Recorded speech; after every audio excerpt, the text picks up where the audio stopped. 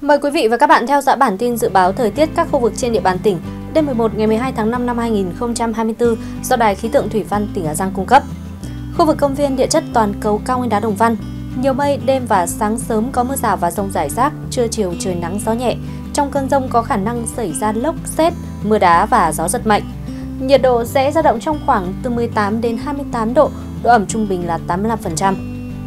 Khu vực di tích quốc gia ruộng bậc thang và vùng núi đất phía Tây, nhiều mây, đêm và sáng có mưa rào và rông rải rác, cục bộ có nơi mưa to, sau có mưa vài nơi gió nhẹ.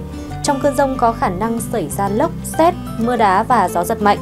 Nhiệt độ khu vực này sẽ dao động trong khoảng từ 22 đến 31 độ, độ ẩm trung bình 85%. Còn tại khu vực vùng núi thấp, khu vực này nhiều mây, đêm và sáng có mưa rào và rông rải rác, cục bộ có nơi mưa to, trưa chiều trời nắng, gió nhẹ.